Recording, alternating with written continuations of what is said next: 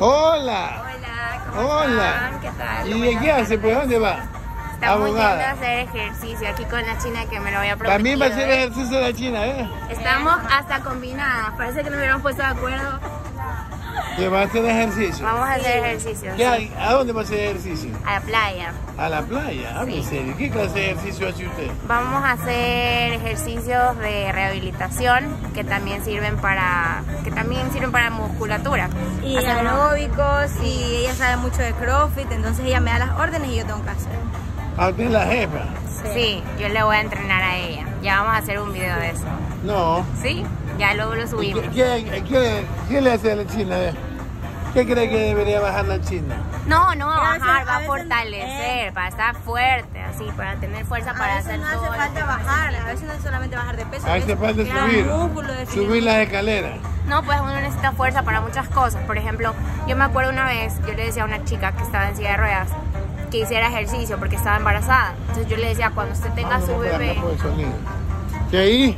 yo le decía que cuando tenga su bebé, cómo lo iba a sostener si es que, si es que no tenía quien lo cargue. Porque obviamente uno quiere ayudar, pero si uno no hace la fuerza, o sea, aunque sea con, aunque sea con una botella, uno puede ponerle arena, puede ponerle piedritas, puede ponerle agua y con botellas de plástico en la casa. O sea, siempre uno puede encontrar lugares y formas de hacer ejercicio. Ah, En todos los lugares, incluso aquí donde estamos ahorita pueden- podemos encontrar también formas de hacer ejercicio. Y mejor si es al aire libre ahí está porque el uno tubo, ve. disfruta y se oxigena. Ahí está el tubo.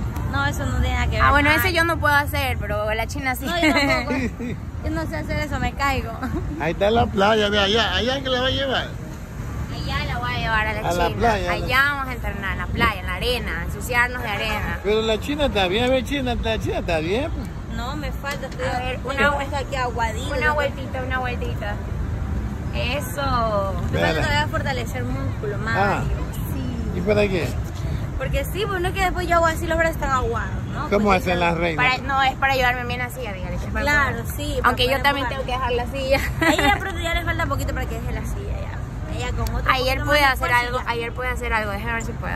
No, no intentes estas cosas No, en, pues, en eh. En cámara. No intenten no estas en cosas en cámara. casa. No intenten eso en casa. Uy, hijo de puchicas. ¡Uh! Me paré sola. Me voy. ¿Qué? ¿Y no se podía parar No, sola? no, siempre me tenía que sostener de algo. O sea, para hacer apoyo siempre tenía como que decirle, deme la mano, deme la mano y ahí pararme. Bien, Y ahora se paró sola. A ver, de nuevo, parece. No, pues a mamá. Es que, es que aquí No, no, no. se sostiene bien las sillas, parece. ¿Cómo? Déjame colgar el teléfono. Es que la Aquí no silla, se sostiene la bien silla las de ruedas no está tan firme como para... A ver, Roxy, cuidado, cuidado, Roxy. ve, se mueve la silla. Cuidado, Eh, Es que la silla se mueve para atrás. Ah, ya, chévere. Es para, Poco a eso, poco. para eso hacemos ejercicio, para estar fuertes. Poco a poco está haciendo, ¿no? Poco a poco, sí. ¿Viste, Ahorita-? Ya pronto deja la silla. Pronto vamos a dejar la silla de ruedas y voy a andar. Yo digo con bastón, ojalá. Dios mediante, ya pronto va a andar con su bastón y ya no va a andar en silla. Así es, ¿no? Voy a andar caminando, imagínense algún día puede estar como la china. No dice que le Ya, dijeron... ya no falta dice, poco, con la voluntad poco. dice que a usted le dijeron que nunca iba a caminar. Así es, me dijeron que nunca iba a volver a caminar, que no hiciera rehabilitación. Me dijeron que no hiciera rehabilitación porque ya no era necesario, que solamente vaya a la casa. Me acuerdo clarito cuando la, la fisiatra dijo eso, dijo, a su hija ya no se va a recuperar, ya no necesita hacer rehabilitación, solamente en su casa tiene que hacerle ciertos movimientos para evitar que el músculo se atrofie mucho y para que no se ponga rígido. O sea, como movimientos básicos.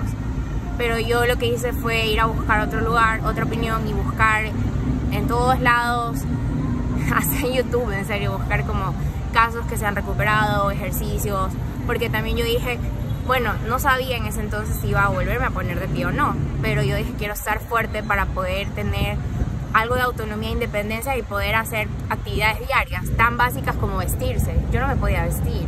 A mí No me- podía. no podía, a mí me tenían que vestir. No me podía coger un moño porque para sentarme había perdido el equilibrio porque mi lesión fue la columna. Entonces si yo alzaba los brazos me iba de lado, me iba para un lado y me iba para otro lado. Al principio el terapista me hacía solo así, con el dedo me hacía ¿Cómo? así. Para hacerme terapia, o sea, como para que yo me sostenga rígida. Y me hacía así con el dedo y con el dedo yo me iba para un lado y para otro lado. Luego ya era con la mano. y ahora ya voy al gimnasio.